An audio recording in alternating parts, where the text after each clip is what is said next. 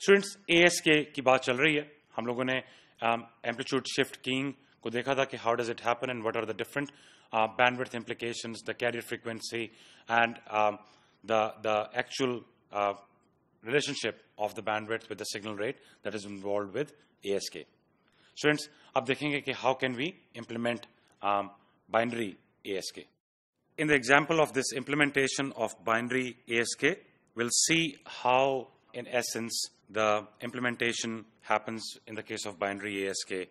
Um, the actual implementation is, is really complex, but we'll just give you a, a slight background um, on a high level to, for you to understand how the binary ASK works. Students, in this case, the digital data that we are using, it is presented as a unipolar NRZ signal. Remember from our discussion of the line coding scheme, the unipolar NRZ has got a high level of 1. So the high voltage level in this case is going to be 1 and a low voltage level of 0. So this is our digital data um, presented as unipolar NRZ and this is what we need to send from point A to point B. Students, in this particular case, what we do is we have got an oscillator. The frequency is the carrier frequency, FC. We take our unipolar NRZ signal and we multiply that with the um, oscillator um, produce the oscillating signal which is produced at a frequency of FC.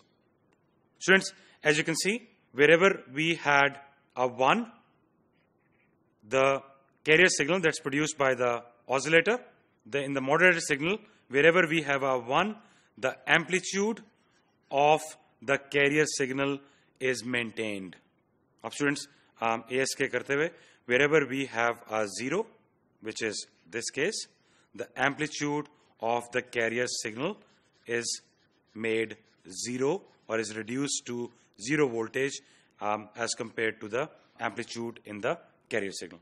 So, uh, in essence, what we are doing is, in the case of 1, we are maintaining or holding amplitude of the carrier.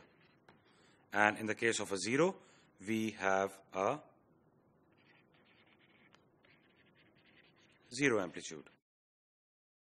Students, uh, once again, this carrier signal that you are looking at it serves as the base of the information that we are going to be carrying. So this is this carrier signal that's produced by the oscillator. This is serving as the base of the unipolar NRZ digital signal that we have out here.